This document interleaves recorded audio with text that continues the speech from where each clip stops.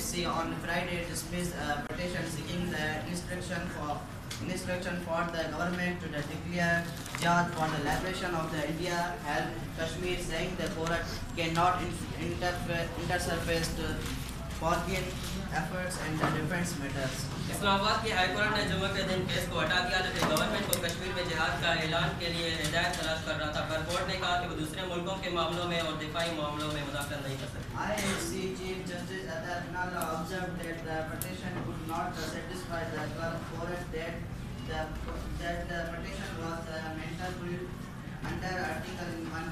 کر سکتے high court chief justice نے کیا کہ جو عدالت میں کیس داخل کیا گیا ہے وہ کو مطمئن نہیں کر کیونکہ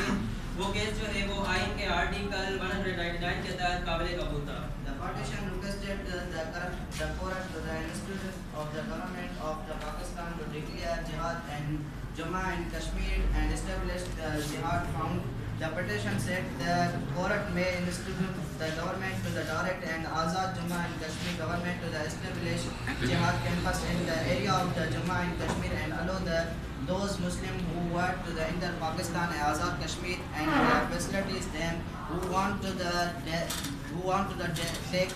part in the jihad. The court noted that the petitioner has a score prayer and the essential recorded policy of the Pakistan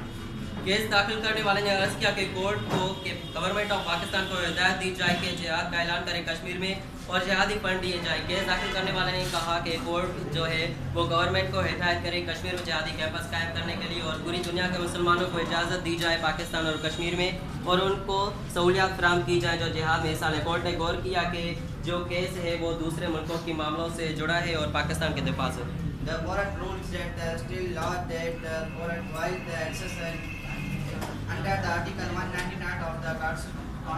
to not enter judgment better relation offers defense for the for what has the disguise above the partition is not a meant, meant, mentable and therefore the according disguise the warrant order